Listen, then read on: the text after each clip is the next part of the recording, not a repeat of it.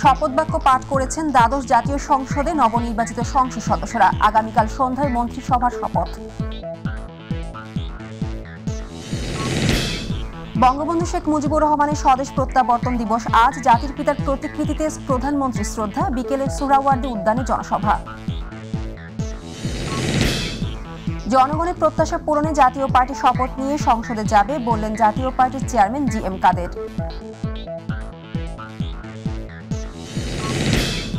উত্তরের হিমেল হাওয়ার সাথে ঘন কুয়াশার দাপটে জবুথব উত্তরের জনজীবন, ভারী শীত বস্ত্রেও মিলছে না স্বস্তি, কর্মহীন শ্রমজীবী ও ছিন্নমূল মানুষেরা।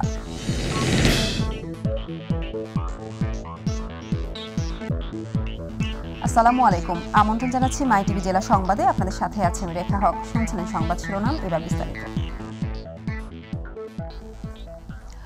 শপথ বাক্য পাঠ করেছেন দ্বাদশ জাতীয় সংসদে নবনির্বাচিত সংসদ সদস্যরা। সকালে শেরেবাংলা নগরের সংসদ ভবনের পূর্ব ব্লকের প্রথম লেভেলের শপথ কক্ষে এই শপথ অনুষ্ঠিত হয়। স্পিকার ডক্টর শিরিন শারমিন চৌধুরী তাদের শপথ বাক্য পাঠ করান। এর আগে নিয়মানুযায়ী স্পিকার নিজে নিজেই শপথ গ্রহণ করেন। শপথ গ্রহণ শেষে সংসদ সদস্যরা শপথ বইয়ে স্বাক্ষর করেন। এরপর সচিবের দপ্তরে অন্যান্য আনুষ্ঠানিকতা শেষ করেন। তারা দুপুর বারোটায় আওয়ামী লীগের সংসদীয় দলের সভায় অংশ নেবেন। সংসদে সংখ্যাগরিষ্ঠ দল আওয়ামী লীগ আলোচনা করে তাদের নেতা নির্বাচিত করবে। এরপর রাষ্ট্রপতি সংখ্যাগরিষ্ঠ দলের নেতাকে সরকার গঠনের আহ্বান জানাবেন। নির্বাচন কমিশন ঘোষিত ফল অনুযায়ী দুইশো আটানব্বইটি আসনে বেসরকারি ফলে আওয়ামী লীগ দুইশো বাইশটি জাতীয় পার্টি এগারোটি, বাংলাদেশের ওয়ার্কার্স পার্টি জাসদ ও বাংলাদেশ কল্যাণ পার্টি একটি করে এবং স্বতন্ত্র প্রার্থীরা বাষট্টিটি আসনে বিজয়ী হয়েছেন। মঙ্গলবার নির্বাচন কমিশন দ্বাদশ জাতীয় সংসদ নির্বাচনের ফল গেজেট আকারে প্রকাশ করে।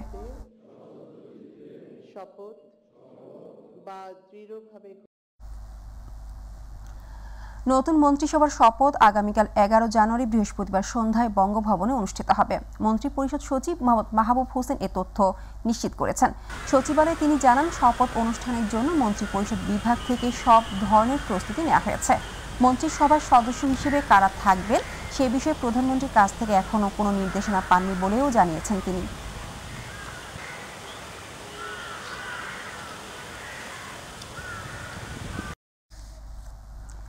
জাতির পিতা বঙ্গবন্ধু শেখ মুজিবুর রহমানের স্বদেশ প্রত্যাবর্তন দিবস উপলক্ষে তার প্রতিকৃতিতে পুষ্পস্তবক অর্পণ করে শ্রদ্ধা জানিয়েছেন প্রধানমন্ত্রী শেখ হাসিনা।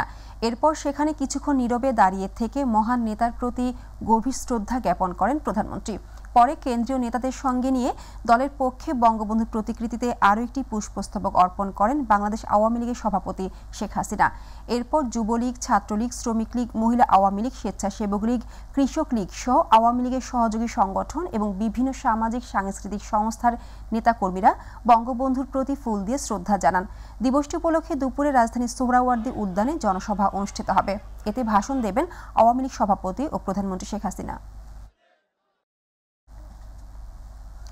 বঙ্গবন্ধু শেখ মুজিবুর রহমানের স্বদেশ প্রত্যাবর্তন দিবস আজ উনিশশো বাহাত্তর সালের এই দিনে সদ্য স্বাধীন বাংলাদেশের মাটিতে প্রত্যাবর্তন করেন তিনি। উনিশশো একাত্তর সালের ষোলো ডিসেম্বর পাকিস্তানি সৈন্যদের বিরুদ্ধে নয় মাস যুদ্ধের পর চূড়ান্ত বিজয় অর্জিত হলে দশ জানুয়ারি বঙ্গবন্ধু স্বদেশ প্রত্যাবর্তনের মধ্য দিয়ে জাতি বিজয়ের পূর্ণ স্বাদ গ্রহণ করে। নানান কর্মসূচির মাধ্যমে দিবসটি পালন করবে জাতি। দিবসটি উপলক্ষে আজ দুপুরে রাজধানী সোহরাওয়ার্দী উদ্যানে জনসভায় ভাষণ দেবেন আওয়ামী লীগ সভাপতি প্রধানমন্ত্রী শেখ হাসিনা। আরও জানাচ্ছেন রাকিব হাসান।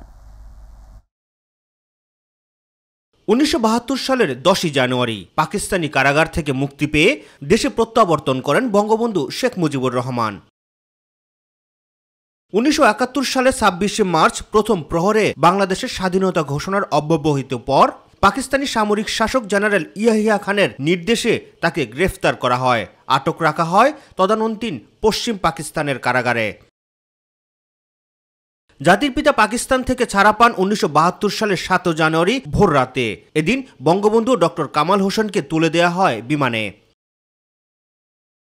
আট জানুয়ারি সকাল সাড়ে ছয়টায় তারা পৌঁছান লন্ডনের হিথ্রো বিমানবন্দরে। বেলা দশটার পর থেকে বঙ্গবন্ধু কথা বলেন তৎকালীন ব্রিটেনের প্রধানমন্ত্রী এডওয়ার্ড হিথ, তাজউদ্দিন আহমেদ ও ভারতের প্রধানমন্ত্রী ইন্দিরা গান্ধী সহ অনেকের সাথে। পরে ব্রিটেনের বিমান বাহিনীর একটি বিমানে করে নয় জানুয়ারি দেশের পথে যাত্রা করেন বঙ্গবন্ধু।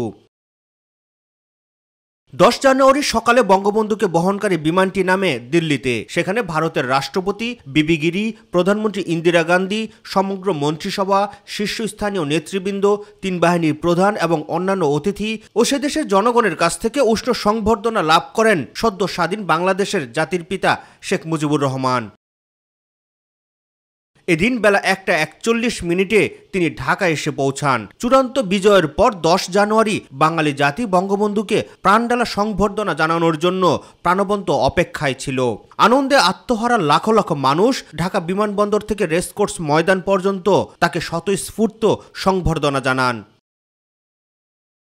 বিকেল পাঁচটায় রেসকোর্স ময়দানে প্রায় দশ লাখ লোকের উপস্থিতিতে তিনি ভাষণ দেন।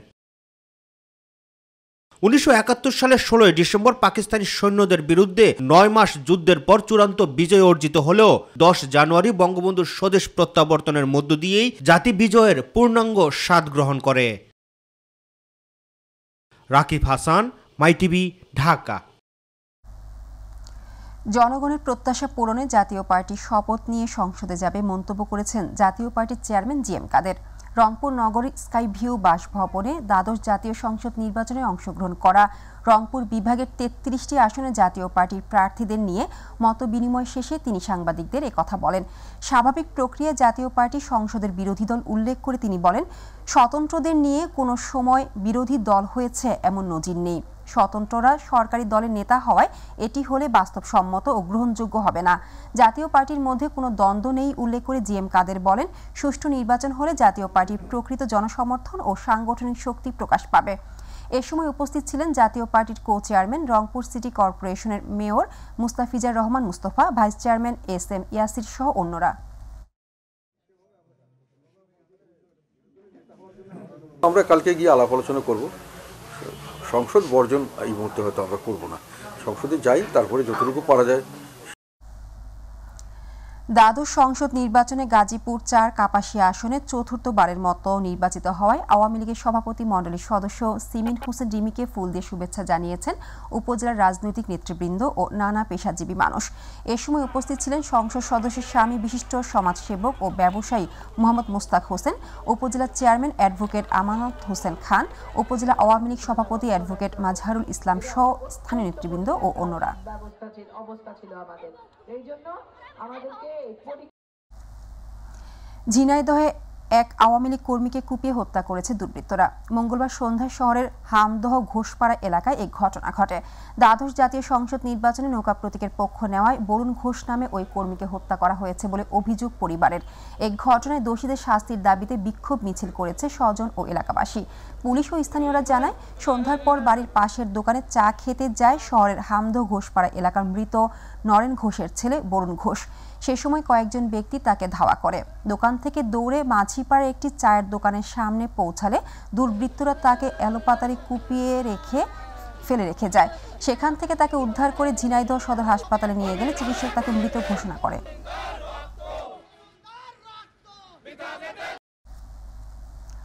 মাদারীপুরে সূক্ষ্ম কারচুপি করে নৌকাকে হারানো হয়েছে বলে অভিযোগ করেছেন আওয়ামী লীগ মনোনীত নৌকা মার্কার প্রার্থী ডক্টর আব্দুস সুবহান গোলাপ মিয়া।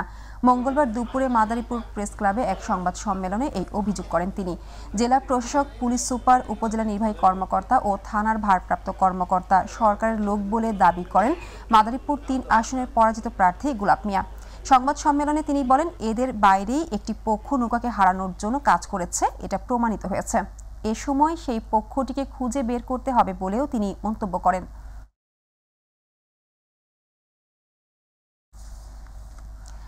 দ্বাদশ জাতীয় সংসদ নির্বাচনে মাদারীপুর তিন আসনে বিভিন্ন ইউনিয়নে পরাজিত প্রার্থী সমর্থকদের বাড়িঘর ভাঙচুর, লুটপাট ও অগ্নিসংযোগের অভিযোগ জানিয়েছে ভুক্তভোগীরা।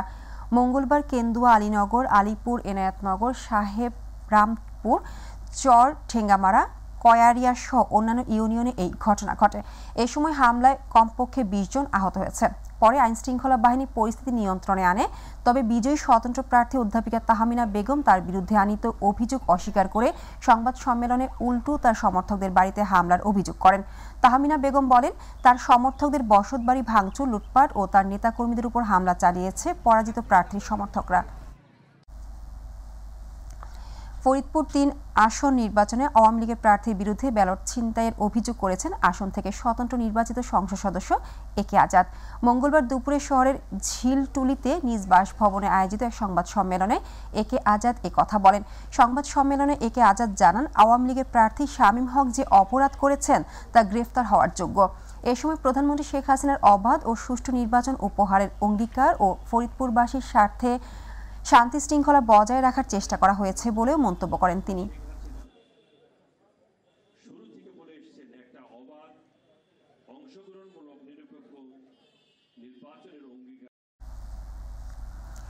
মেহেরপুর এক আসনের বিভিন্ন গ্রামে নির্বাচন পরবর্তী সহিংসতা চলছে দাবি করেছেন আসনের পরাজিত স্বতন্ত্র প্রার্থী আব্দুল মান্নান।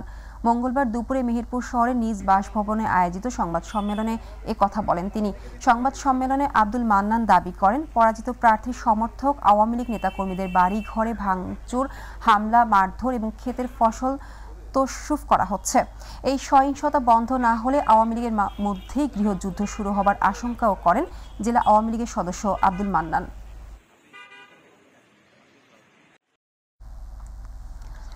মানিকগঞ্জ দুই আসনে মৃত ও বিদেশে থাকাদের ভোটও দেওয়া হয়েছে বলে মন্তব্য করেছেন পরাজিত নৌকার প্রার্থী কণ্ঠশিল্পী মমতাজ বেগম। উপজেলার পূর্ব ভাকুমে নৌকার নেতাকর্মীদের উপর হামলার প্রতিবাদের কর্মী সভায় কথা বলেন তিনি। স্বতন্ত্র প্রার্থী দেওয়ান জাহিদ আহমেদ টুলু কালো টাকা ছড়িয়ে ভোট কিনে এমপি হয়েছেন। নির্বাচনের রাত থেকে তার লোকজন আমাদের অসংখ্য নেতাকর্মীর বাড়িতে হামলা করেছে বলে অভিযোগ করেন তিনি।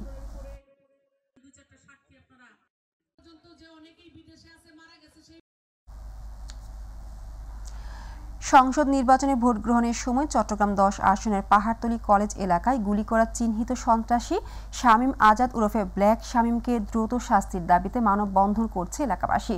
নগরীর পশ্চিম খুলশি এলাকায় মানববন্ধন ও বিক্ষোভ মিছিলে বক্তব্য রাখেন গুলিবিদ্ধ জামাল স্ত্রী হাজেরা, রাবেয়া মুন্নি মেরি এবং আহত মনোয়ারা বেগম। সংঘর্ষের ঘটনায় চট্টগ্রামের সীতাকুণ্ড এলাকা থেকে অস্ত্র ও দুই রাউন্ড গুলিসহ শামীমকে গ্রেফতার করেছে র্যাব। র্যাব জানিয়েছে, তার বিরুদ্ধে চট্টগ্রামে বিভিন্ন থানায় অস্ত্রসহ বিভিন্ন অপরাধ সংক্রান্ত পাঁচটির অধিক মামলা রয়েছে এবং তিনবার কারাভোগ করেছেন।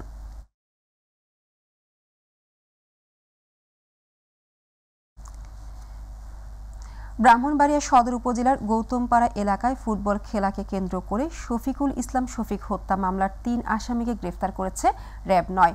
সোমবার রাতে জেলার আশুগঞ্জ উপজেলার সুহাগপুর এলাকায় অভিযান পরিচালনা করে তাদেরকে গ্রেফতার করা হয়। দুই হাজার তেইশ সালের চার নভেম্বর সন্ধ্যায় শফিককে সদর উপজেলার ঘাটুরা পেট্রোল পাম্পের সামনে একা পেয়ে এলোপাতারি ছুরিকাঘাত করে হত্যা করা হয়েছিল।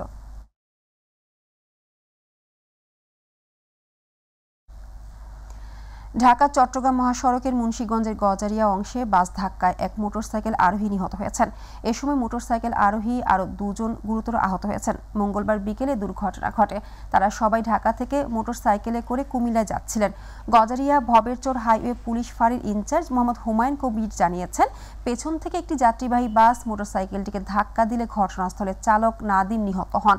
স্থানীয়রা তা আহতদের উদ্ধার করে উপজেলা স্বাস্থ্য কমপ্লেক্সে পাঠায়। নিহতের মরদেহ বর্তমানে ভবে চোর পুলিশ ফাঁড়িতে রয়েছে।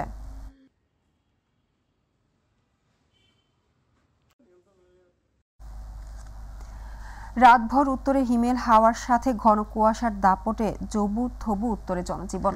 বেলা বাড়ার সঙ্গে সঙ্গে কুয়াশার প্রভাব কিছুটা কেটে গেলেও হিমালয়ের হিম কনকনে হাওয়ায় সবচেয়ে বেশি ভোগাচ্ছে উত্তরাঞ্চলের মানুষদের। শরীরে ভারী শীতবস্ত্র চাপিয়েও যেন রক্ষা পাচ্ছে না সাধারণ মানুষ। শ্রমজীবী ও ছিন্নমূল মানুষেরা খড়কুটো জ্বালিয়ে আগুনের উত্তাপ নিচ্ছে। নতুন বছরের শুরু থেকে তীব্র শীতে দুর্ভোগে পড়েছে উত্তর জেলার মানুষগুলো। হিমেল হাওয়া বাড়িয়েছে শীত, কনকনে ঠান্ডা বিপর্যস্ত হয়ে পড়েছে উত্তরের এই জনপদ। ঘন কুয়াশায় দিনের বেলাও সড়কে যানবাহন চলছে হেডলাইট জ্বালিয়ে। ঠান্ডা বাতাস আর বৃষ্টির মতো ঝরে পড়া কুয়াশার কারণে কাজের সন্ধানে ঘর থেকে বের হওয়া মানুষ পড়ছে চরম ভোগান্তিতে। শিশু ও বৃদ্ধরা ঠান্ডাজনিত রোগে আক্রান্ত হচ্ছেন। তীব্র ঠান্ডায় সবজি ক্ষেত ও বীজতলা নষ্ট হওয়ার শঙ্কায় চাষিরা এতে করে পড়েছেন দুশ্চিন্তায়।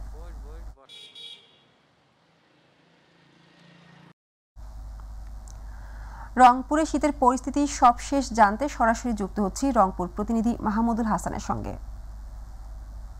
মাহমুদুল, রংপুরে শীতের এই মুহূর্তের কি অবস্থা আছে আমাদেরকে জানান।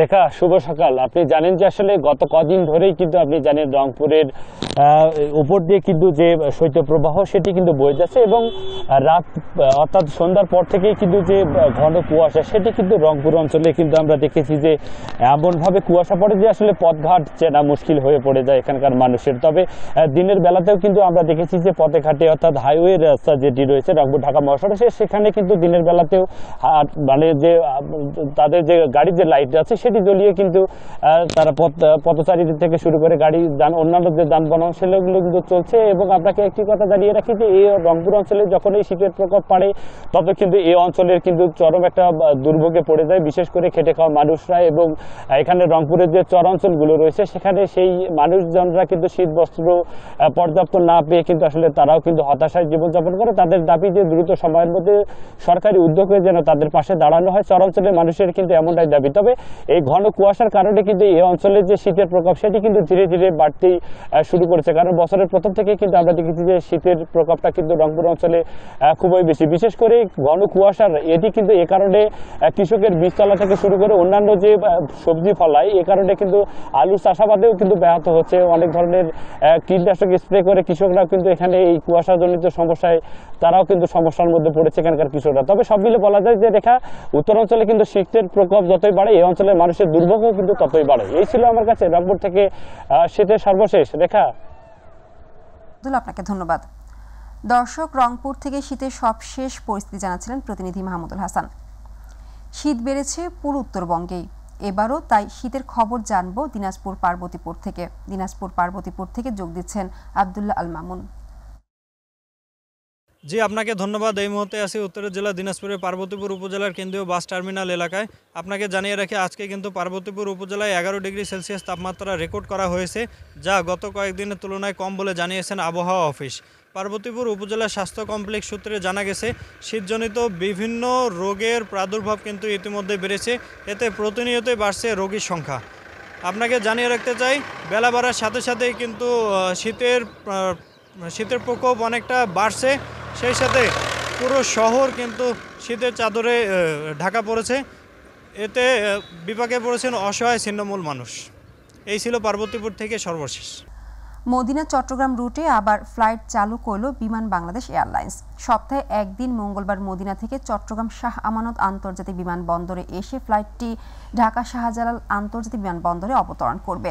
মঙ্গলবার Boeing seven eight seven dreamliner বিমানে মদিনা থেকে একশো আটত্রিশ যাত্রী আনার মধ্য দিয়ে এ রুটের কার্যক্রম শুরু হয়েছে। বিমান বাংলাদেশ এয়ারলাইন্সের চট্টগ্রাম জেলা ব্যবস্থাপক সজল কান্তি বড়ুয়া জানিয়েছেন, চট্টগ্রাম থেকে সৌদি আরবগামী যাত্রীরা সপ্তাহে তিন দিন বিমান বাংলাদেশ এয়ারলাইন্সের ফ্লাইটে জেদ্দা যেতে পারছেন। মদিনায় যেতে পারেন বৃহস্পতিবারের ফ্লাইটে। এখন মদিনা থেকে মঙ্গলবার সরাসরি চট্টগ্রাম আসতে পারছেন। চট্টগ্রাম শাহ আমানত আন্তর্জাতিক বিমানবন্দরের পরিচালক গ্রুপ ক্যাপ্টেন তাসলিম আহমেদ বলেন, শিগগির চট্টগ্রাম থেকে নতুন নতুন রুটে ফ্লাইট চালু হবে এবং খ্যাতনামা এয়ারলাইন্স অপারেশন শুরু করবে।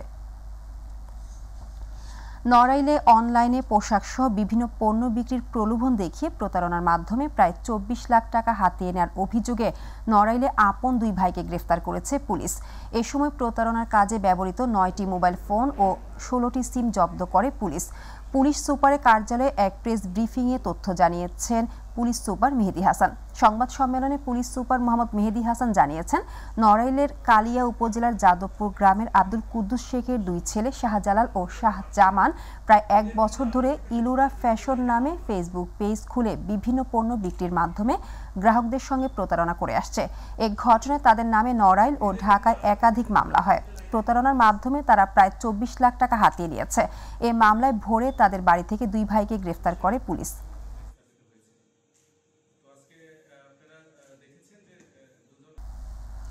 ব্রাহ্মণবাড়িয়ায় জেলা প্রশাসনের উদ্যোগে ভাসমান অসহায় ও শীতার্ত মানুষের মাঝে কম্বল বিতরণ করা হয়েছে। মঙ্গলবার রাতে ব্রাহ্মণবাড়িয়া রেলওয়ে স্টেশনে ব্রাহ্মণবাড়িয়ার জেলা প্রশাসক মোহাম্মদ হাবিবুর রহমান তিন শতাধিক ভাসমান শীতার্ত মানুষের মাঝে এই কম্বল বিতরণ করেন। এ সময় অতিরিক্ত জেলা প্রশাসক মোহাম্মদ সাইফুল ইসলাম সদর উপজেলা নির্বাহী অফিসার মোহাম্মদ সেলিম শেখ উপস্থিত ছিলেন।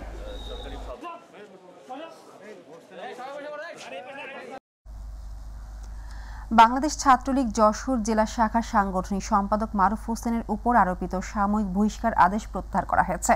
ছয় ডিসেম্বর শনিবার বাংলাদেশ ছাত্রলীগ কেন্দ্রীয় নির্বাহী সংসদের দপ্তর সম্পাদক মেফতাহুল ইসলাম পান্থ স্বাক্ষরিত বিজ্ঞপ্তিতে এই বিষয়টি জানানো হয়েছে। বিজ্ঞপ্তিতে বলা হয়েছে, বাংলাদেশ ছাত্রলীগ কেন্দ্রীয় নির্বাহী সংসদের জরুরি সিদ্ধান্ত মোতাবেক নিজ আবেদনের প্রেক্ষিতে এবং ভবিষ্যতে সংগঠনের শৃঙ্খলা ও মর্যাদা পরিপন্থী কার্যকলাপে লিপ্ত হবে না। এই শর্তে যশোর জেলা ছাত্রলীগের সাংগঠনিক সম্পাদক মারুফ হোসেনের সাময়িক বহিষ্কার আদেশ প্রত্যাহার করা হলো।